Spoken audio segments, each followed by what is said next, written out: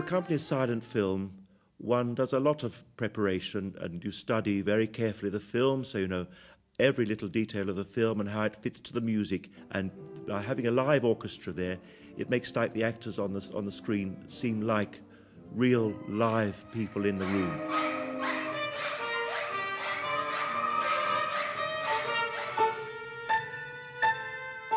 This orchestra's always had a history of wanting to be alternative, have alternative ideas for programming, so they don't do what the other orchestras do. They have lots of witty, beautiful ideas.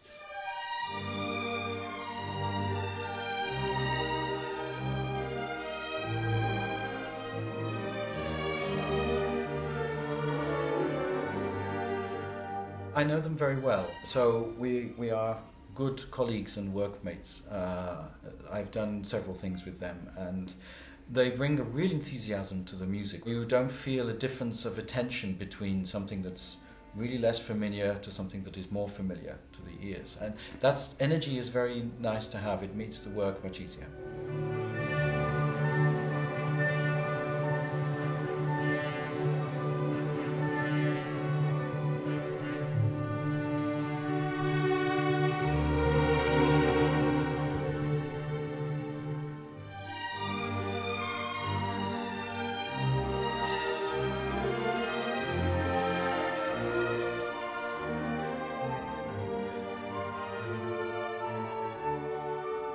For everybody working with an orchestra, it's different. How do you want to use it? But I like playing with string players in particular because of all of this resonance of the strings.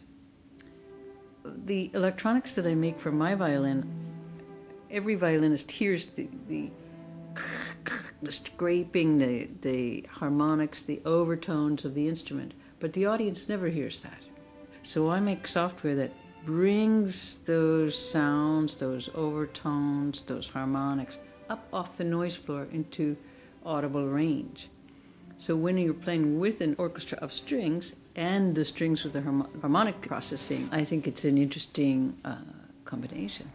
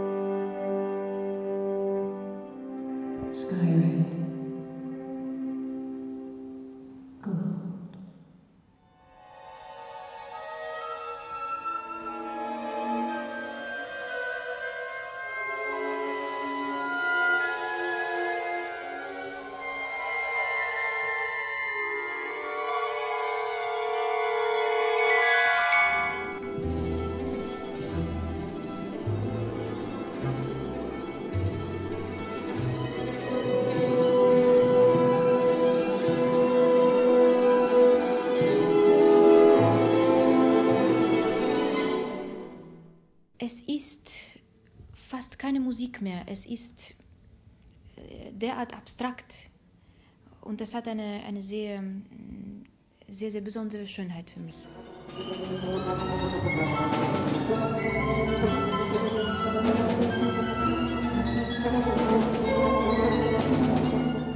Ich denke, wenn sich ein Orchester wie Sinfonietta Basel sich einem solch mutigen Projekt widmet, mit einer solchen Intensität, verdient Respekt und Unterstützung.